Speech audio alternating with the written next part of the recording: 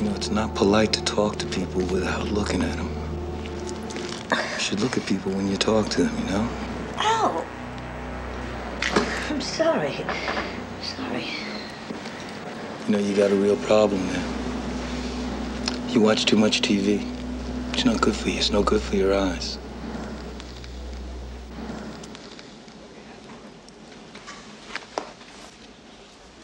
To recap tonight's top story, police are searching for this man, believed to be responsible for the murder of three prostitutes in Miami. Details are sketchy as to the circumstances surrounding the murder.